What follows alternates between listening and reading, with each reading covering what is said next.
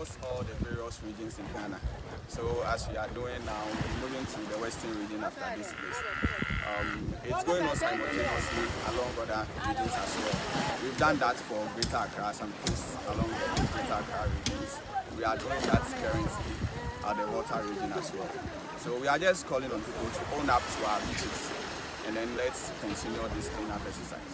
As well, let's partner up. We will continue. We are hoping to um, get a, a, a very favorable response from the government and any other agencies along the country. Just partner with us. Let's keep our beaches clean. Let's go back to uh, clean beaches as used to some time back.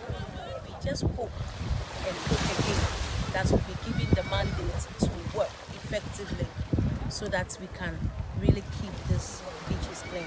Some time ago we were doing it and we did it and everybody at the beach really could attest to it that when we left a lot of things have been happening at the beaches and all our beaches now are in a state of emergency. So we are in currently to make sure that the beaches are restored back to its state.